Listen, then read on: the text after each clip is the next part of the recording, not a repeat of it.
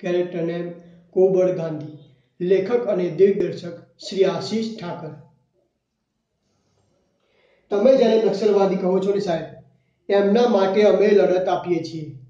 કારણ કે આ લોકશાહીની સરકારને વોટ બેંકના ગણિત સિવાય સીધે પાટે લાવી શકાય ન હતી. અને મારી પાસે હતા બે મુઠ્ઠી નાગા આદિવાસીઓ, કે જેમના વોટ બેંકની કોઈ કિંમત ન હતી. જેમનો અવાજ જેમનો અવાજ આ મદમસ્ત હાથીઓની ચીચિયારીઓ વચ્ચે મરવા પડેલી કીડીઓ જેવો નગણ્ય હતો. પણ એમની વાત સાચી લાગી અમને. એમની માંગણીઓમાં છુપાયેલા સત્યના નળકારને અમે ઓળખ્યો.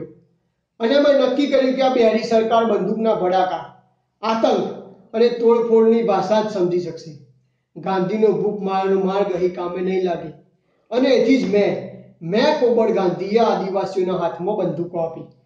જંગ લડવાની તાલીમ આપી, સંગઠિત થવાની બુદ્ધિ આપી અને મોત આવે ને ત્યાં સુધી જજુમવાની હિંમત આપી. સાહેબ, હું જાણું છું સાહેબ કે તમે મને ફક્ત સજા જ ફરમાવી શકો છો. સજાએ મોત.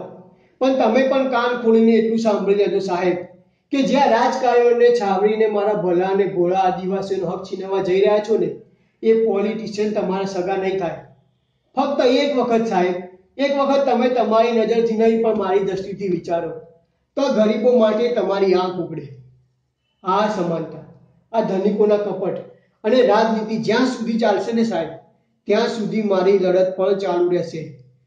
કોબળ ગાંધી સાહેબ, મોતની સજા પછી પણ જીવતો રહીશ. અને આ ગરીબોના હક માટે સદાય લડત આપતો રહીશ. જય હિન્દ જય હિન્દ જય હિન્દ.